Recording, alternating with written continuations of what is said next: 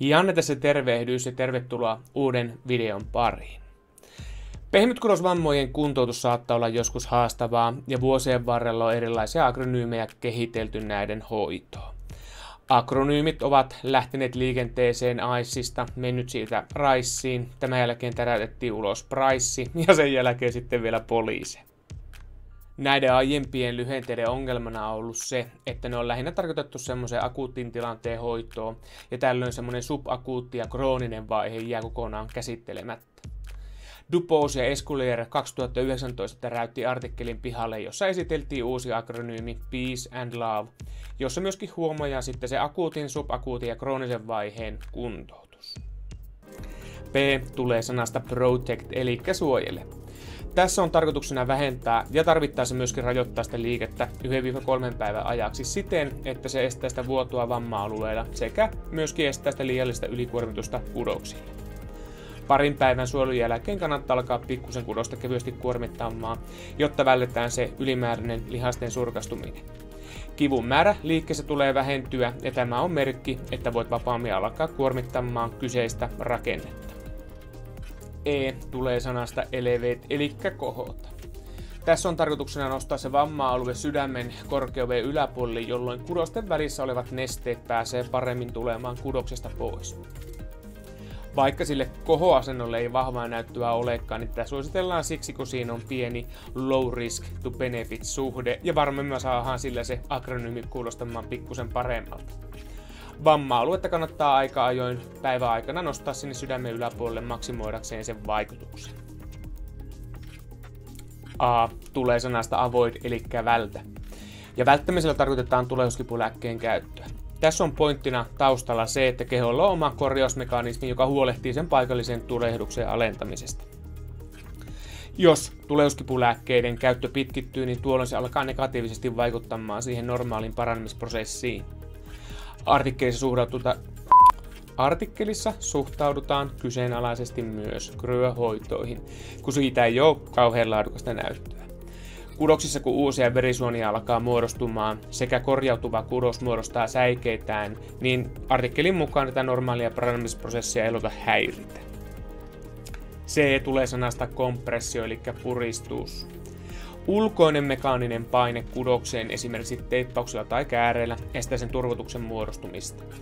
Esimerkiksi vaikka nilkan vääntymisvamman jälkeen teippaus vähentää turvotusta ja helpottaa päivittäisiä toimintoja.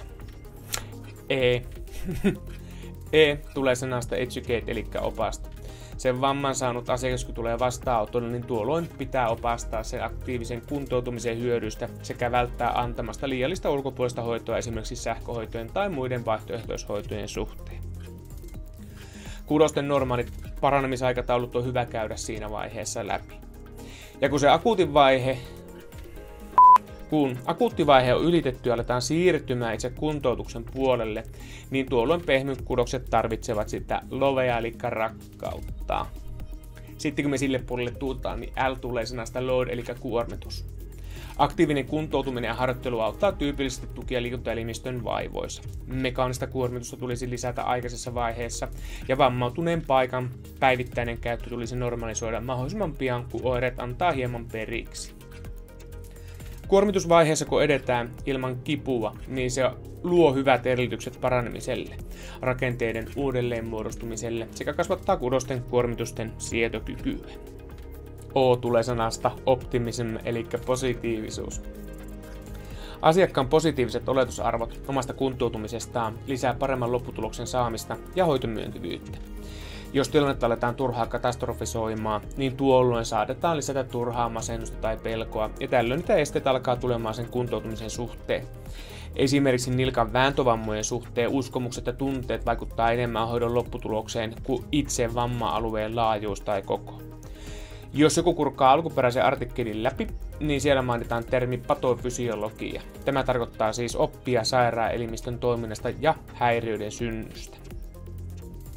B tulee sanasta vaskularisation, eli verenkierto. Huh.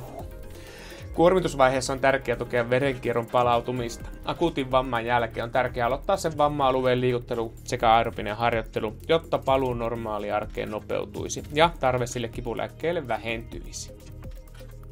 E tulee sanasta exercise eli harjoittelu.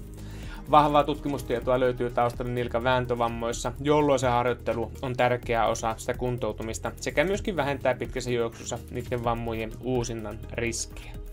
Harjoittelu lisää liikkuvuutta, voimaa sekä nivelen asentotuntua. Ja voimakasta kipua saa harjoittelun yhteydessä tuntua, jolloin se kuormitus on pikkuhiljaa nousujohteista ja tuolloin tarjotaan itse kudokselle optimaalinen parantuminen harjoittelun edetessä. Pehmytkurosvammoissa on tärkeää katsoa kokonaistilannetta muutenkin kuin pelkä akuutin vaiheen hoidon suhteen. Ja mielellään meidän sosiaali- ja terveysalan ammattilaisten tulisi katsoa tilannetta siten, että meillä ei ole pelkkä nilkkavamma, vaan meillä on asiakas, jolla on nilkka vammautunut. Tuolloin pyritään löytämään hyvät ja mielekkäät ratkaisut pitkän aikavälin kuntoutumiseen, ja vastaanotolla ei ole pelkkä diagnoosi, vaan ihminen. Jos haluat tietää enemmän yleisestä kipumekanismista tai vaikka käydä kurkkaamassa läpi, miten jännää tuutattiin tuonne Rannekanava oireyhtymän videoon, niin sivussa olevasta, tätä mä en muuten ikinä osaa, jossain tuolla yllällä on linkki, josta pääset suoraan sitten seuraavan materiaalin pariin. Ja muistathan, että peukuttelu, tilaus ja tämmöinen kaikki muu hässäkkä levittää tätä ilosanomaa isommalle ryhmälle tänne YouTubeen ihan, ihanaa maailmaa. Iso kiitos ajastasi, nähdään seuraavan videon parissa.